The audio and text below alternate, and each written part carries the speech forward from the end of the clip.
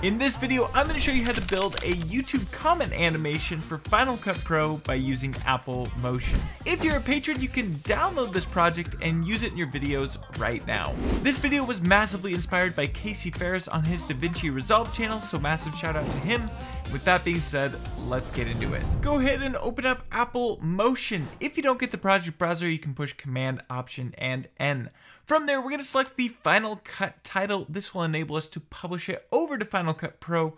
And in the top right hand corner, I'm going to use a 4K project and I'm going to recommend setting your duration to something like 10 seconds. After that, we can go ahead and push open. The first thing we need to do is delete the title background and type text here layers. From there, we're going to select our rectangle tool and just make it any shape. Jumping on over to the left hand side, we'll locate the inspector and first thing we can do is set this to a dark gray color. After that, we can go over to our geometry settings and set the roundness all the way up to 50. Then finding the size parameters, I'm going to click this down arrow to expand it. You'll see that we have a width and height parameter. I'm going to recommend setting this over to 1500 by 450. From there, go on up to the top left and locate your properties and in here you'll see the position parameter. Right click on that and then select reset parameter and that will place the rectangle directly in the center. Next, we need to make it so we can bring in a channel icon. So to achieve that, we'll go to the very top and go to add object. In here, you'll see we have a drop zone. Now that we've added the drop zone, go on down to your rectangle tool, clicking this down arrow and select the circle tool. Get as close as you can to the very top of the screen, then click and drag and hold shift to make it perfectly symmetrical. We want this to almost completely fill up the screen without cutting off the edges of the circle. Going to the left hand side, we'll locate the position, we'll right click on it and select reset parameters so that circle is directly in the center once again. After that, click and drag that circle directly on top of your drop zone. This is going to set that circle as a mask on this drop zone. So now we have that nice circular shape that you want for your YouTube channel icon. Selecting that drop zone, go ahead and set the scale down to something like 8%, then drag that over to the left hand side of our YouTube comment. Next, I need to bring in a few elements to really make it look like we took a screenshot off of YouTube. So I'm gonna push Command I and bring in this like and dislike icon that I took a screenshot of on YouTube. I upresed it inside of Pixelmator and deleted the background. I'm to have a link down below so you can download this icon for your own videos. From there, we can push import. Going to the properties, I'm going to recommend you set the scale down to 15%. Of course, you can change that later if you're not happy with that. Let's go ahead and roughly get this into position just like so. Then we can scroll on down and locate our title tool. Clicking on that, go ahead and write in whatever comment you want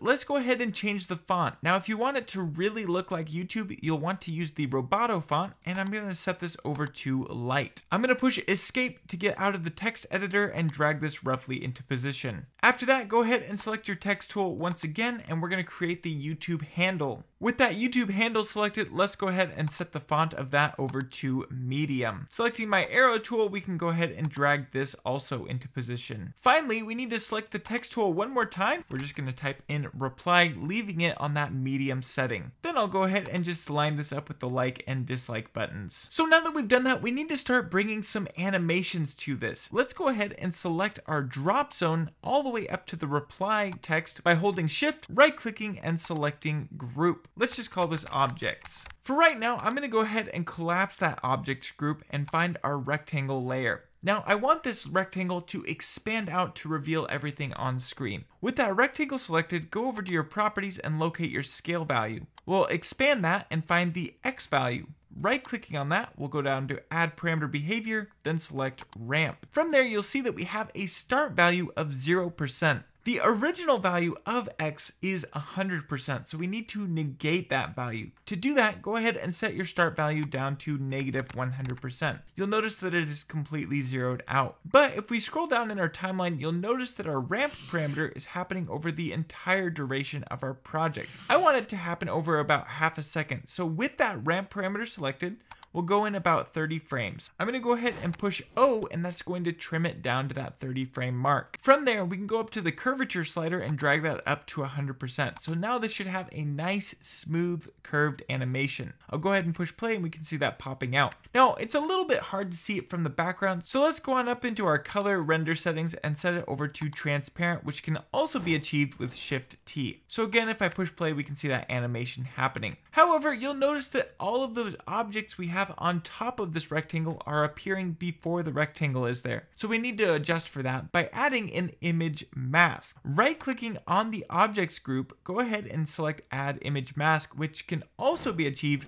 with Command Shift M. From there, go ahead and click and drag this rectangle directly onto the image mask. This is going to set this rectangle layer as a mask for all of our objects. However, you'll notice that motion by default has deselected this rectangle group. So go ahead and re-enable that. Now, if we push play, we can see everything appearing just as we want it. Finally, we need to have an animation at the end of everything closing back down. So to achieve that, find your ramp parameter and push Command D to duplicate it. Scrolling down in our timeline, we can go ahead and drag this ramp parameter all the way to the far right hand side. As it is, our start value is negative 100%. So if I push play, everything is going to kind of reset rather than going to a close animation. Selecting our ramp copy, go on over to the left side and find the start value. Set that to 0% so it is no longer negating anything and we will set our end value to negative 100%. So now if I push play, everything will appear just like so, and then at the end, everything will close out. Now, I also want to add in some nice animation to our text. Selecting our text layer, let's go up to behaviors, go down to text animation and select type on. As it is, the type on animation is happening over the entire duration of the project, so let's go ahead and shorten that down to about a second. Going to the second mark, let's go ahead and push O to trim that down and now that will type on slowly. Next, we'll find our handle, go up to behaviors, go down to text basic and select arrange in. So if I push play now, both of these have a nice little animation happening, giving it just a little bit more life. I also want to make it so this drop zone pops into place. So selecting our drop zone, we'll go to our properties and find the scale value. Let's go ahead and adjust this drop zone so it doesn't appear on the timeline until around here. So we'll just click and drag that drop zone to this point. After that, we can go into our scale value. We'll right click on it, select add parameter behavior, and I'm going to select overshoot. I want the start value to be negative 8% to negate that 8% value we originally set. This animation is going to happen way too slowly, so let's just go forward a few frames and I'll push O. I want it to be a little bit more fluid, so let's go ahead and set our cycles down to just one, and we could lower the ramp duration to give it a little bit more power. Let's go ahead and push play and see how that looks. Another thing I loved from Casey Faris's YouTube animation was the nice little sheen that happens over the top, and this is super easy to replicate. Go ahead and select the circle tool, create a large elongated circle here on the left hand side. I'm going to go ahead and drag the circle above everything inside of our main group. Then go into the shape settings, find the feather options. Go ahead and drag that feather way up, then take your fall off and drag that as far over to the right side as you can. You'll notice that that gives us this nice soft edge here. Going over to the properties, we'll find the rotation and set this to a negative 45 degree angle. After that, we can go ahead and drag this to the top left-hand corner and making sure we're on the very first frame of our animation, we can add a keyframe to the position. Let's go to the very end of the animation and drag the circle all the way down to the bottom right hand corner. So over the duration of our video, we should have this nice little sheen happening across the screen. However, as it is, it's a little bit too bright, so let's go to the opacity settings and drop this way down until it's just barely highlighting our image. Next, we don't want any of this sheen to be happening off of our rectangle. So again, we're gonna right click on this circle, select add image mask,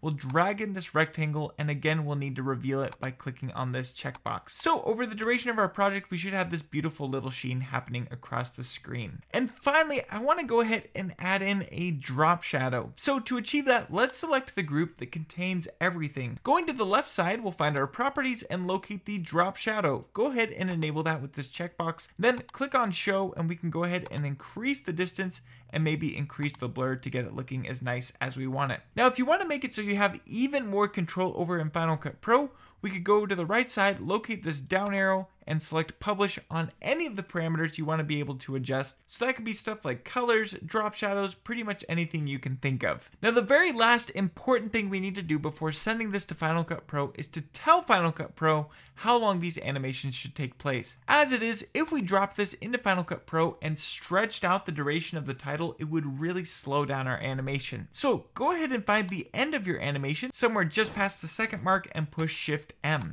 That's going to give you this green marker. Double clicking on that, we can change the type from standard over to build in optional. Now, if you don't really understand this, I have a whole video on this subject that I will link at the end of the video. Going to the last part of our animation, right before the animation starts at 9.29, we'll push Shift M and add that green marker and we'll change the type from standard over to build out optional. Now that we've done that, Final Cut Pro knows how long this animation should take place. From there, we'll go ahead and push Command S to save or to publish to Final Cut Pro, and we can rename this to whatever we like. After that, go ahead and throw it into whatever category you like. I'll throw it into my tutorials category. From there, I'm going to push publish. To use this in Final Cut Pro, go into your titles and locate the category that you originally placed it in. I'll see that I have my YouTube comment right here. I'm going to just drag this down on the timeline, and you'll notice that it is a 10 second duration like we set up at the beginning. What's really cool with this is we can now just double click on our text and type in whatever we want.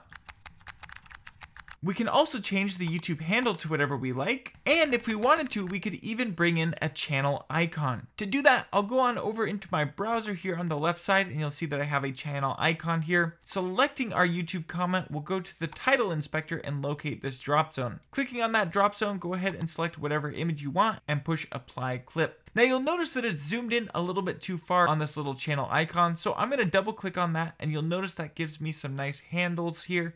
I can go ahead and shrink this down so it fits within that circle. And so finally, if we push play, you'll see that we have this beautiful little animation. I have a channel icon and I can type in whatever I want as well as having this nice sheen happen across the screen. If this video was helpful to you, consider press that like button, consider subscribing, and you may want to check out this video where I show you the number one thing that every Apple Motion user should know. With that being said, thank you so much for watching and I cannot wait to see you in the next one.